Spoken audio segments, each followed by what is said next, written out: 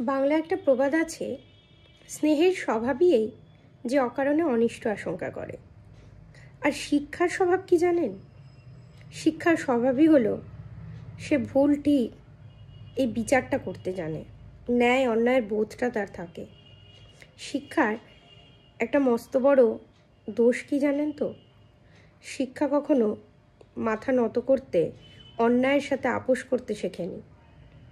শিক্ষা আমাদের যুক্তি দিয়ে সব কিছু বিচার করতে শেখায়, সমানভাবে সব কিছুকে দেখতে শেখায়। দৃষ্টিভঙ্গিটাই পাল্টে দেয়। আর যদি আপনার দৃষ্টিভঙ্গি না পাল্টায়, তাহলে আপনি শিক্ষিত, এমন কথা কি করে বলবেন? আজকে যখন দেখবেন নিজের সাথে লড়াই করতে করতে আপনার দেওয়ালে পিঠ থেকে যাচ্ছে, আপনি সংসারে মানিয়ে নিতে নিতে নিজের আত্মসম্মানটুকুই বিসর্জন দিতে চলেছেন, তখন আপনাকে কে বাঁচাবে জানেন? এই শিক্ষা। শিক্ষা নিয়ে অহংকার করারও যেমন কিছু নেই, বড়াই করারও তেমন কিছু নেই। কিন্তু যদি প্রকৃত শিক্ষা আপনার ভিতরে থাকে, তাহলে সেই অহংকার আপনাকে কাউকে দেখাতে হবে না। আপনার চোখে মুখেই ফুটে উঠবে। মানুষের সাথে দুটো ভালোভাবে কথা বললে অহংকারী হয়ে যাবেন না। এতে বরং আপনার শিক্ষার প্রকাশ পাবে। নম্রভাবে কথা বললে বা সমাজের সব স্তরের মানুষের সাথে কথা বললে আপনি অশিক্ষিত। এটা যেমন প্রমাণ হয় না তেমনই আপনি কতটা ডিগ্রি ধারণ করেছেন তার থেকেও বড় কথা, আপনি কার সাথে কীভাবে ব্যবহার করছেন, কতটা যুক্তি দিয়ে ব্যবহার করছেন সব কিছু ঠিক ভুলের বিচার করতে জানেন, তার উপরেই নির্ভর করবে আপনি প্রকৃত শিক্ষিত কিনা। আজকে আমি একটা খুব সামান্য বিষয় নিয়ে কথা বলতে বসেছি। আর এর সাথে শিক্ষা কীভাবে ওতপ্রোতভাবে জড়িয়ে আছে, সেটাও আপনাদের বলব। আমাদের সমাজ ব্যবস্থাটা এমনই, বিয়ের পর মেয়েদের যদি তার শাশুড়ি মুখঝামটা দেয়, সেটা সকলেই বলে, মেনে নাও, উনি তো তোমার মা, উনি তো তোমার মায়ের মতো। কিন্তু জামাইকে যদি তার শাশুড়ি মা গালিগালাজ করেন, সেটা কেউ সহ্য করতে পারে না। না তো সেই জামাই না সেই জামাইয়ের মা। আচ্ছা তাহলে বৌমা যদি মেয়ে হয়ে মায়ের মতো শাশুড়ি সব কিছু মেনে নিতে পারে, তাহলে জামাই কেন পারবে না? যদি এখানে বলেন, জামাই কেন শুনবে? জামাই আপনার পয়সায় খায় না পড়ে আপনার বাড়ি কি থাকতে যায় তাহলে লজিক্যালি আপনি কি এটাই বোঝাতে চাইছেন?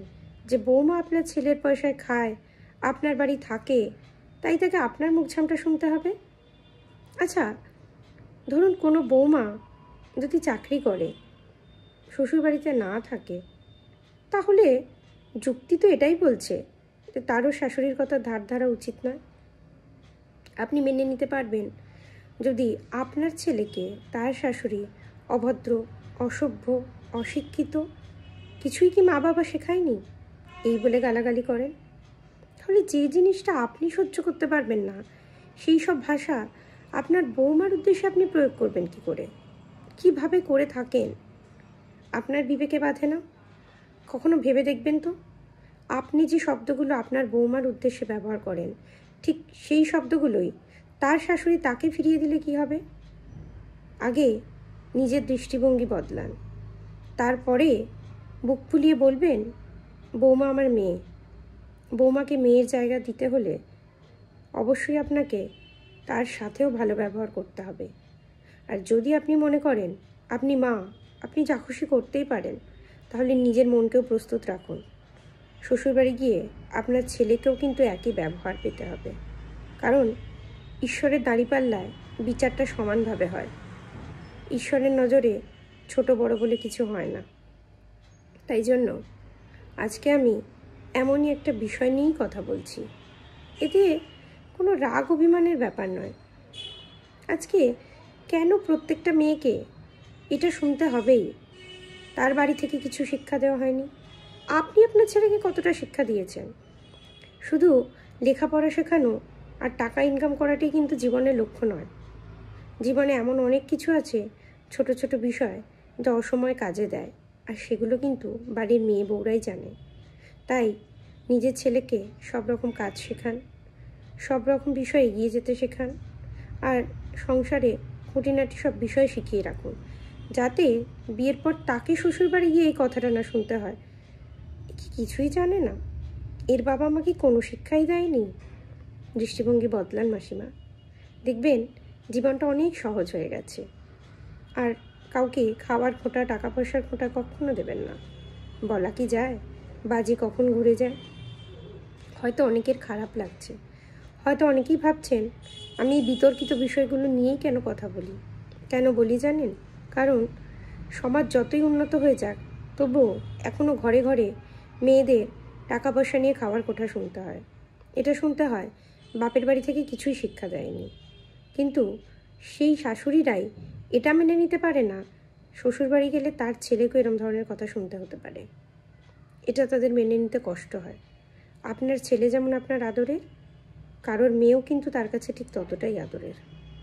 আমি এক পেশে কথা বলছি ভাববেন না। আমি আমার কথা বলছি এটাও ভাববেন না। আমি সবার হয়ে প্রতিনিধি হিসাবে কথা বলছি। আমার কথা অনেক মেয়ের কথা, অনেক মেয়ের মনের কথা। সেসব মেয়ের কথা যারা দিনের পর দিন ভালো বউ হয়ে রয়ে গেছে, কিন্তু ভিতরের কষ্টটা কারোর সাথে শেয়ার করে নিতে পারেনি। পাছে তার বাবা মায়ের শিক্ষা তুলে তাকে খারাপ বলা হয়। তাই জন্য আমার বিষয়গুলো যদি আপনাদের ভালো লেগে থাকে, আমাকে জানাবেন। সংসারের চাপে সংসারের হাঁড়ি কাটে বলি হতে হতে আপনাদের কি কি শুনতে হচ্ছে, সেগুলো আমার সাথে ভাগ করে নিন। আজ নয়তো কাল আমি আপনাদের সাথে ঘটা অন্যায় নিয়েও কথা বলব। আমি তারও প্রতিবাদ করব। প্রতিবাদী হতে শিখুন। শিক্ষা আমাদের প্রতিবাদী হতে শেখায়।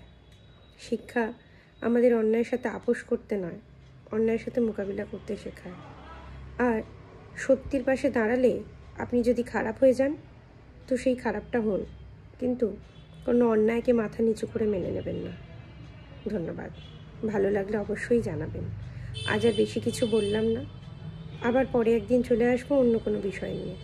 আজ ব্যাস এতটুকুই। নমস্কার।